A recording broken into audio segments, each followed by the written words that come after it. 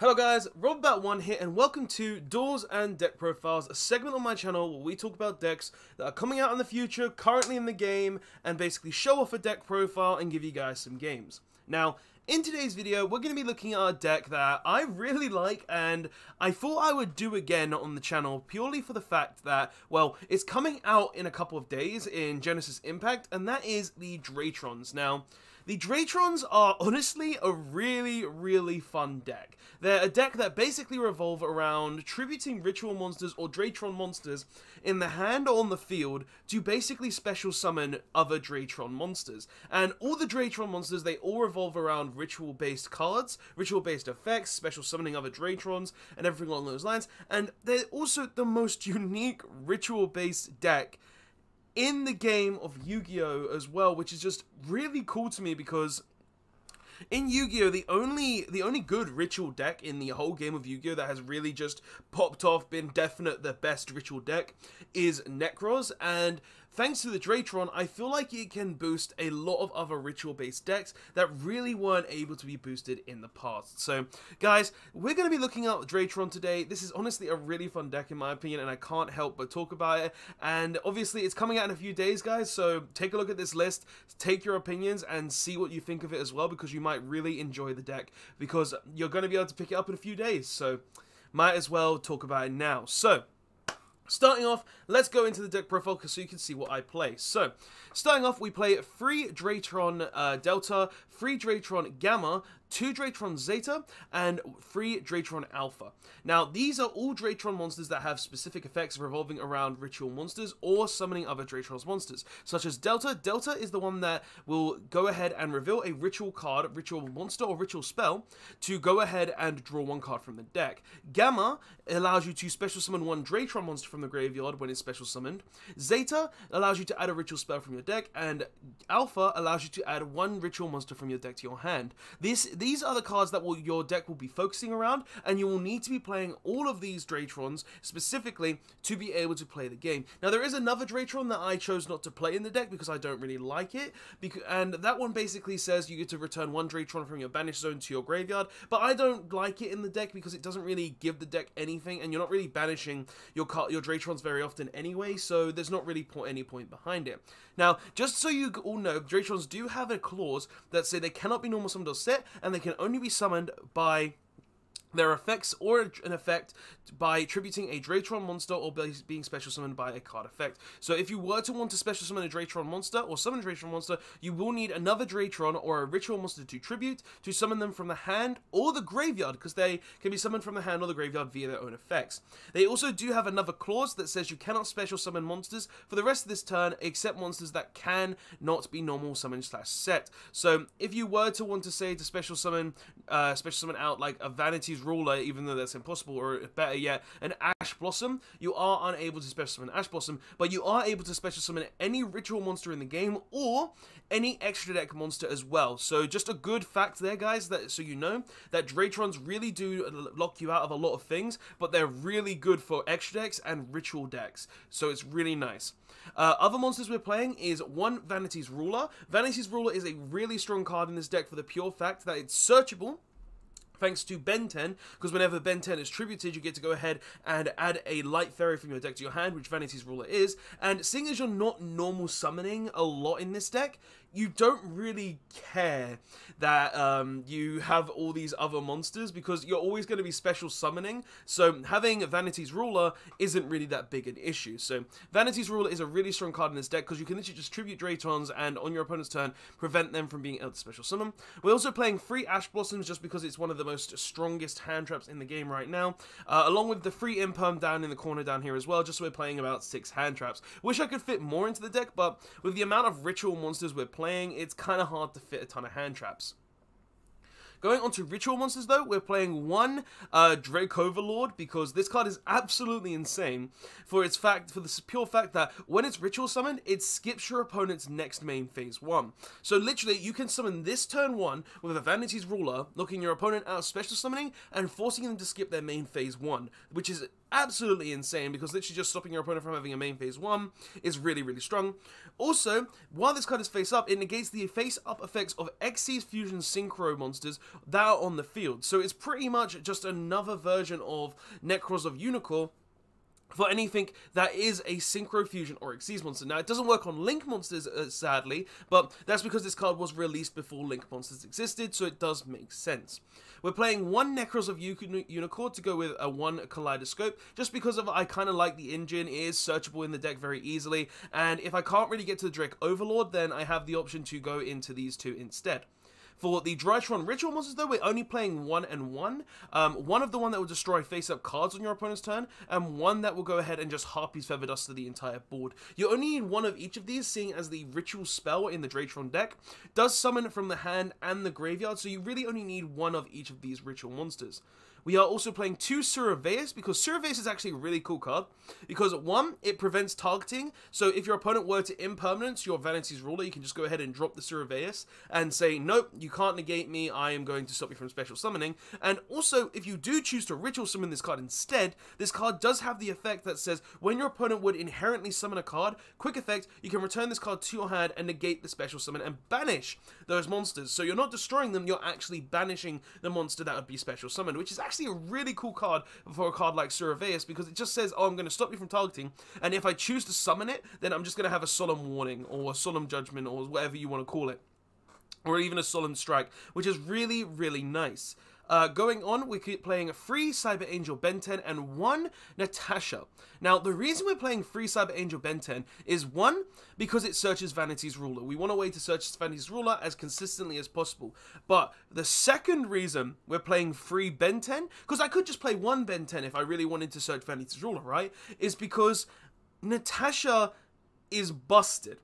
Natasha in this deck is absolutely insane because you can actually get it out very, very easily. And what this card basically does, let's go ahead and read it, is once per turn you can target one face-up monster you control. Gain life points equal to half that monster's attack. So it's got life gain in it. Um, when a ritual monster you control is targeted for an attack, you can negate that attack. It has attack negation. And its final effect, which makes it absolutely broken in my opinion, is if this card is in the graveyard, you can banish one other Cyber Angel monster from your graveyard, then target one monster your opponent controls, special summon this card, and if you do, take control of that monster.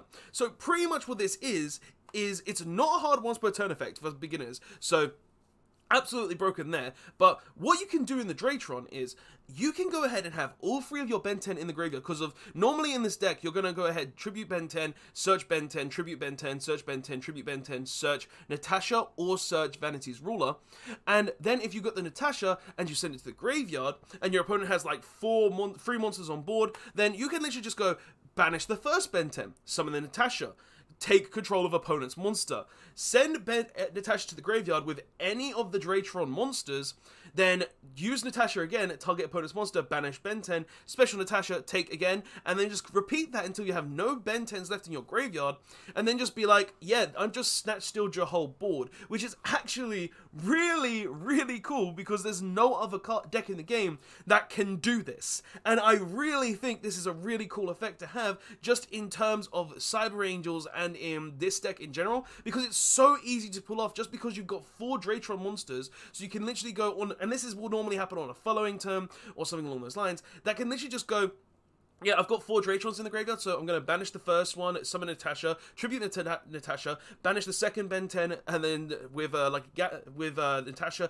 and then summon Natasha, then the Gamma can tribute the Natasha, and then you just go ahead and take your opponent's board, make a board of ritual monsters, and then just go in from there, which I think is really cool, and is one of the reasons why I really do like the Drytron deck. But continuing on, we are also playing three Cyber Emergencies. I was originally playing Where Arf Thou in Drytron when I first built the deck, but I chose to kind of change to Cyber Emergency for the fact that, one, where after it requires you to already have a Drytron on board, which can be kind of bad and might not happen all the time, and two, Cyber Emergency just searches ritual monsters as well, so you can go ahead and search your uh, your Drytron Ritual Meteoros Dragon or your Drytron uh, Dragon. So it's just like, it's it's got additional resources that you can actually search, and it's more compatible that way.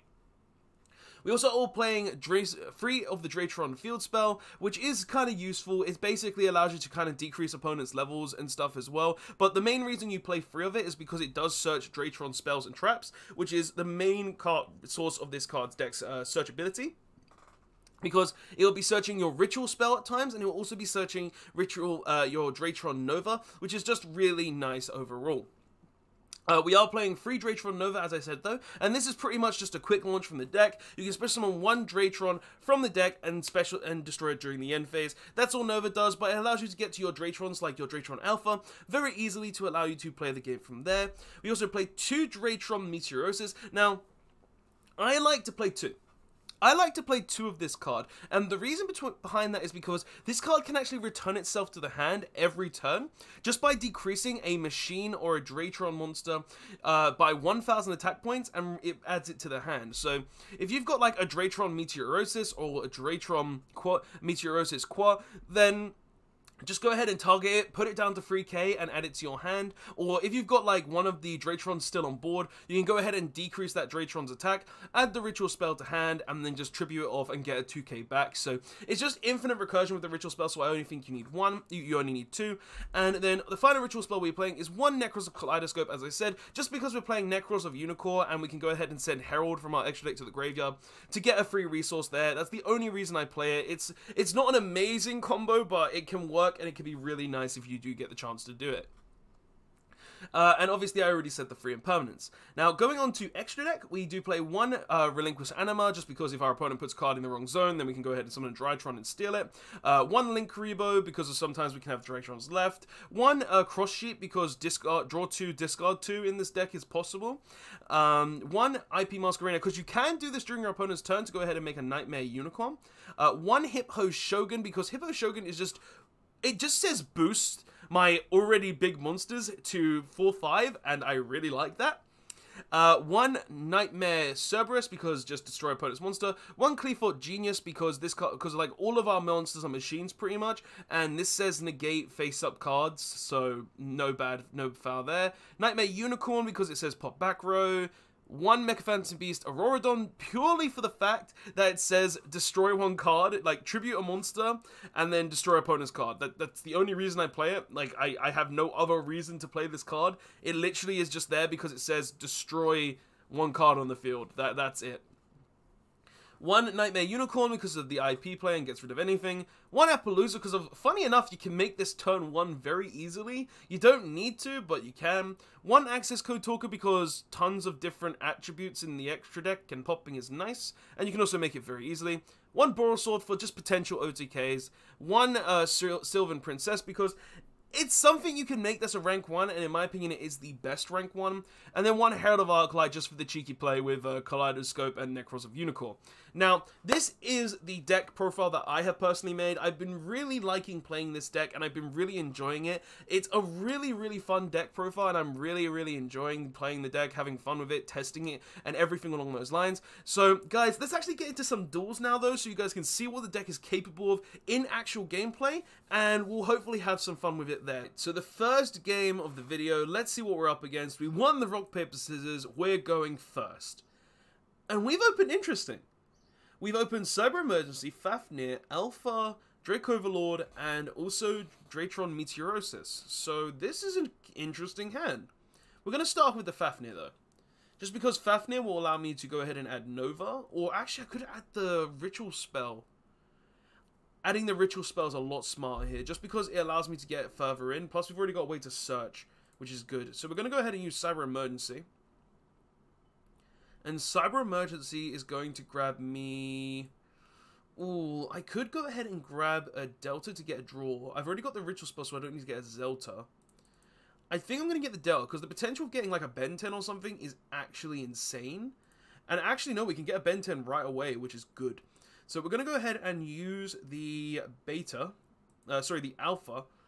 Mm, actually, no, we'll get we'll use the... No, yeah, we'll use the Alpha. Because Alpha can go ahead and tribute the Delta, and then Alpha can go ahead and grab me a Benten. And then I can just get free resources from the Benten, which is really nice. So I'm going to go ahead and then use the Delta. Delta will tribute the Benten. Summoning it out. We'll go ahead and reveal um, Drytron and Dra uh, Meteorosis, Drytron, and we, we drew Vanity's Ruler. So now I've got decisions to make. I can do, I can either go ahead and normal tribute summon into the Vanity's Ruler, I can either skip my opponent's next main phase, which might be a good idea because it also negates the opponent's extra deck monsters, or I can go ahead and just make some random extra deck monster, I don't know.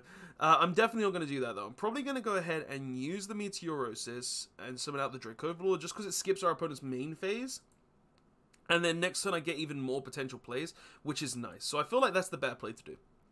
Plus it stops us from being OTK'd, which is also really good. So we'll go ahead and send these two to the graveyard. Actually, in hindsight, I should have sent Drytron Meteorosis to the graveyard because of I can do that. I, I, I done goofed. I could have uh, gone ahead and made a Morphage Pain, uh, the Dracoverlord, the Dracoverlord, and also Vanity's Ruler. See, this is also testing for me, guys, so we're gonna make mistakes. We all make mistakes. but nonetheless, we've negated Xyz, Xyz fusions, and Synchro monsters, so that's not the end of the world. Plus, I can just go ahead and use the Drytrons in Graveyard to tribute like Benten and stuff, and also return the Drytron Meteorosis to hand, so it's not the end of the world. Our opponent just set 5. Okay, our opponent just set 5 cards and passed. Okay, so we're going to go ahead and start off with Alpha, and we're going to tribute Benten. Now, is our opponent going to have a response to this? I hope not. Like, I'll go ahead and get the effect of Ben 10 regardless, but, you know, why would you return that to my hand? That's a terrible idea. Well, I'm going to go ahead and use Alpha's effect, which will go ahead and grab us now. Well, we'll go ahead and get the Sauravis because of he's playing cards that target, so I would rather stop that. And now we're going to use the Benten. Reveals a multi-faker. Go on, do it. I'm calling it now. You reveal that multi-faker. oh no, he's going to go ahead and use the Solemn Strike to stop the Benten. I mean, I would have preferred to stop the alpha, but sure. Uh, that's fine by me. It does mean I have to change my plan a bit. So, hmm, I guess we do use this now to go ahead and add this back to hand. Because the Meteorosis just adding it back to hand is really good. And then I can go ahead and summon the Dracoverlord again. Yeah, this is why I did it this way, because then I can go ahead and just send the Sauravis to the graveyard to negate another target effect. And if he does want to use a third compulse, he's free to use a third compulse or a solemn strike or something to stop me. Like, it is fine by me. So now we're going to go ahead and use the Delta, and with the Delta we're actually going to send the Amorphage Dracoverlord to the graveyard. Which is going to then summon the Delta. Mm, and then with the Delta, I'll go ahead and reveal the Drake, the Meteorosis, and then I'll get a free draw as well, which could get me a Gamma, which would allow me to go a little further. So we'll go ahead and reveal the Meteorosis. And we drew another Meteorosis, so there's some extra plays we can actually do now. So we're going to actually start off by activating Meteorosis. And Meteorosis is going to go ahead and summon out the Dracoverlord by sending the one I should have sent to Graveyard last turn and summoning it out. There's no point in using Fafnir here, so it's fine. Um, He's going to use Warning Point. I mean, I'm pretty sure that doesn't do anything because of uh, it negates the effects, sure, but his next main phase is still skipped because it was still correctly summoned. But nonetheless, I don't think that matters, does it? So what I can, like, I've got two choices. I can go ahead and use this uh, Meteorosis to go ahead and summon out the Sauravis to be able to negate a summon that you could do next turn, or I could summon the Vanity's Ruler. Now, because he's playing a ritual-based deck, I think I'm going to use the Meteorosis. And we're going to go ahead and summon out our lovely, lovely Sauravis. Like, I can return it to the hand as well if he does attempt to special summon, so that is an option as well, which is nice for me. And now we're just going to go Battle Phase, and we're going to do some damage. Oh, we can't attack with this? Oh, that kind of sucks. That's upsetting. Oh, oh, okay, so he's playing Elder I should have summoned the Vanity's Ruler. I should have 100% summoned the Vanity's Ruler. That... I, I, well, it's it's too late now. I'm not gonna I'm not gonna complain about it. It's too late now. What's done is done. So we're gonna have to see what our opponent does now, because honestly, when he's done that, like he still skips his main phase, which is good, because of this was still correctly summoned. Like I still don't get why he can pulse this. That was just incorrect in all forms of imagination. Like I really don't get why he did that, but it's fine. It's fine. Like I, it's only till the end phase though, right? Uh, when there was uh, this turn, yeah. So he goes main phase two, sets one and passes turn. Cool. So we oh we drew Cyber Emergency. That's really good. That's actually really nice for me. So what we're gonna do is we're gonna start off with Cyber Emergency. Because I'm not going to attribute any of the ritual monsters on the board right now. There is no point in doing that. He's going to go ahead and use Conquistador, popping one of my cards. I, I would assume he would probably pop the Amorphage, but he might pop the Sauravis instead. It really comes down to his preference. Honestly, though, I'm not sure what he would prefer to pop, because, like, popping this just means it's gone off the board, which is fine. Uh, but, like, I don't really care. Oh, my camera stopped. Why is my camera stopped? There we go, camera fixed. Don't know why my camera stopped. That's weird. So, uh, that's something that's going to be done in post-editing. Um, so I'm going to go ahead and add... So he kills the Dracoverlord. We're going to go ahead and add Gamma. Gamma is just insane, plus we've already got both Meteorosis out of the deck. Now we're going to go ahead and use our Alpha. Alpha's going to tribute the Gamma. And we're going to summon out Alpha. And then Alpha's going to go ahead and add a Ritual Monster from our deck to our hand. Now, what I can do here, I can either go ahead and add this to uh, spec to Harpy's Feather Duster all back row, or I can go ahead and add Benten, tribute Benten, summon, uh, search and put Natasha, and then use Natasha to, and then summon Natasha, and then we can start going into an extra deck loop thing where we can steal the Eldlich the Golden Lord and the Conquistador. And I think I might go for that because that's actually the play that I, I'm most interested in showing. So we're going to do this. So you're going to go ahead now and use the Meteorosis Engrave, uh, targeting the Alpha and returning it to hand. We're then going to go ahead and use our El Gamma, tributing the Benten, summoning out the Gamma, and then we're going to use the Gamma to go ahead and summon the Delta. We're then going to use Benten's effect, that will search us Natasha, from the deck to the hand, and then we're going to use Meteorosis, which will allow me to then send the Alpha to the graveyard and summon out Natasha. He can't be negated because our field spell prevents that. yeah, that's a misplay, dude. People, ma he made a misplay. It's fine. So now what we're going to do is we're going to target the Sauravis. And we're going to go ahead and link summon into a cross sheep. So we'll summon the cross sheep. We're then going to go ahead and use Natasha's effect, banishing Benten and targeting the Golden Lord, which will take control of the Golden Lord, summon it and put in this zone. And then we'll use Natasha's effect again, targeting our Sauravis to gain more life points. And then we're going to use Delta's effect, tributing the Natasha, summoning the Delta. We're then going to go ahead and link summon again into... It doesn't really matter. We're going to... No, no, we'll make a Knightmare Unicorn using these two. And then we can trigger the Knightmare Unicorn, discarding our Vanity's Ruler to send this back into the deck. We're then going to go ahead and summon out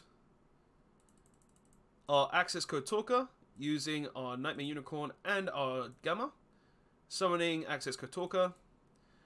And yeah, so even the, the the reason he lost there was the pure fact that he solemn judgmented and didn't realize Fafnir has the same bit effect as uh, invocation where no not invocation sorry magical meltdown to stop the negation of ritual spells so that's why he mainly lost that but even if he didn't solemn judgment there I would have still been able to go into the whole Natasha thing, where we go ahead and Natasha steal opponent's monster and then just go up the link ladder. But nonetheless, that was a really fun game. Also, my camera cut out, so let's actually go to game two, and I'll have to edit stuff in the video. But nonetheless, let's go to game two. Game two, let's see what we're playing against. We lost the rock, paper, scissors.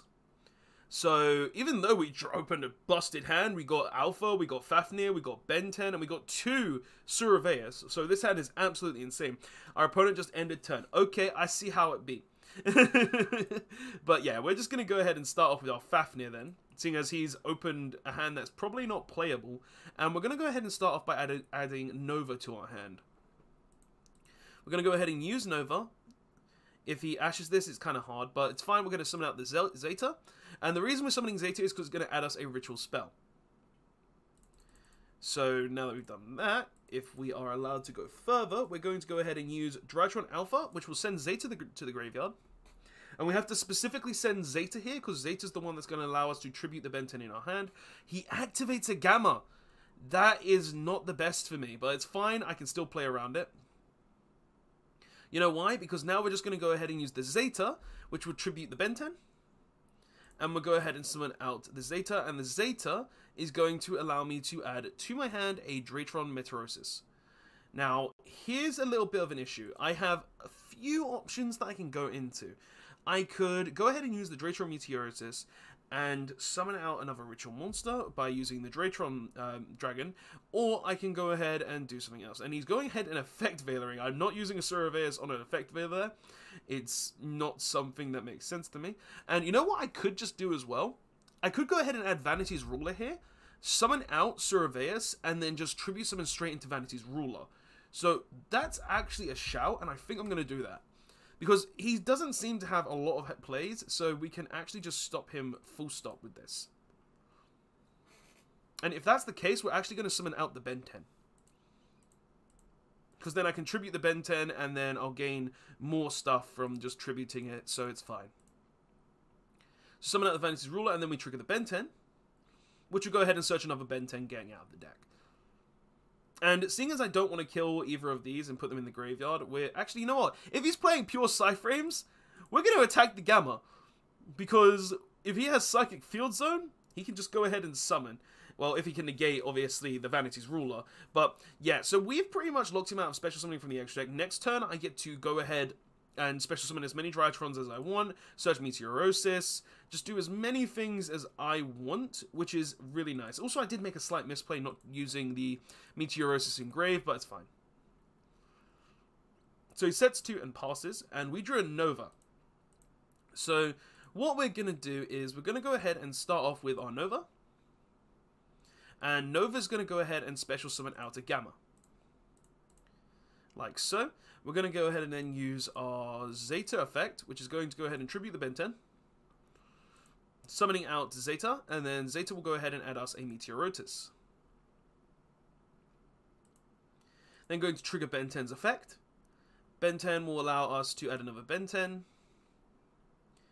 As we do, as we do. And then we're going to go ahead and use our Alpha's effect, which is going to go ahead and send the last Bentens to the graveyard, special summoning him out, and then we're going to go ahead and add one uh, Natasha. Well, we're not going to add Natasha through this. We're going to go ahead and add instead a... We're going to go ahead and add our Meteorosis.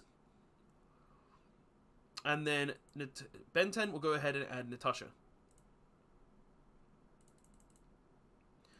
We are then going to go ahead and use Drytron Meteorosis. We'll target the Gamma. And we'll go ahead and use our Meteorosis and we'll summon out our Natasha, targeting, attributing our Gamma, summon out Natasha. We're then going to use Natasha's effect, targeting our Vanity's Ruler, gaining some life points. And we're then going to go ahead and use... I can go ahead and do a few things here. I think what I'm going to do, though, is I'm going to go ahead and summon out our Cross Sheep using these two. And then we're going to go ahead and use Natasha. Banishing a Benten, taking our opponent's set monster. So we'll summon the Natasha here, and then we'll summon his monster here. And he's playing Shaddolls, okay, and then we're going to use the cross sheep, which will allow us to draw two, discard one, and then he surrenders. Pretty much, he didn't draw anything good going first, clearly. He opened a handful of hand traps, which did not help him in any stretch of the imagination. He set one, but what we were basically going to do is, guys, I was just going to OTK him because as soon as I stole his Squamata, he kind of ended up in a position where he was going to lose. Because all I was going to do was I was going to use this to draw two, discard two, obviously. Then we were going to go ahead and use the Gamma to revive two, use the Drytron Meteorosis to summon out the Qua, to so then we can go ahead and destroy all back row he has. And then I was just going to go ahead and make Access Code Talker Borreload, Borrelsword to then go for game there. But pretty much that's a this was one of the good hands we had. This was a good uh, game too. Let's actually go on to the final game we'll be playing in this game. In this deck because this deck is actually a lot of fun and I want to showcase as many games as I can. Last game of the video. Let's see what we're playing against. We lost the rock, paper, scissors, but we opened a pretty good hand. Okay, so let's see what we're going to do. We're going to go ahead and start off with Nekroz of Unicorn. And we're going to go ahead and say the Herald of Arclight to the graveyard and summon the Nekroz Unicorn. Now, we opened two one-ofs in the opening hand, so this is already kind of busted. But let's ignore that for a second. So we're going to go ahead and add Benten from our deck to our hand with the effect. Actually, you know what? I shouldn't do that. No, I shouldn't do that because we're going to go ahead and add the Benten. We're then going to go ahead and use Drytron Nova.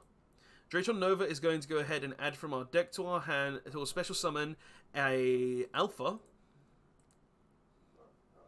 we're then going to go ahead and use the alpha, the gammas effect, tributing the Benten, summoning out the Benten, summoning out the uh, gamma, sorry, and then we're going to use the gammas effect, the Benten's effect, to go ahead and add the Vanity's Ruler from our deck to our hand. Pretty much, we're just going to end on this. We're then going to go ahead and summon out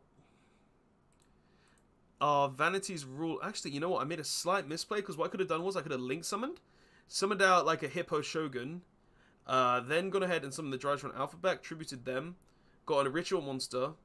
Yeah, I could have gone a bit different, but it's fine, I think. Mm, is there anything else I want to do instead? Nah, we're just going to go ahead and tribute into the Vanity's Ruler. Uh, then we're going to go ahead and pass. So, this is not the bad board.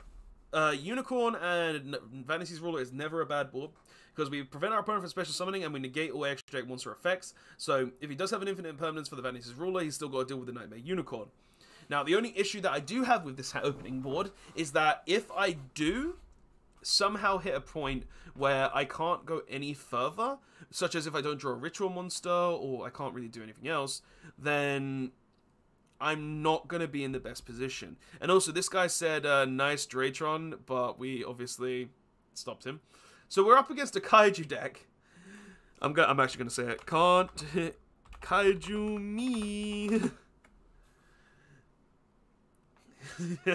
you can't kaiju Wyvern's Vanity's ruler. Not happening. Like legit, this is the, this card is busted for so many reasons.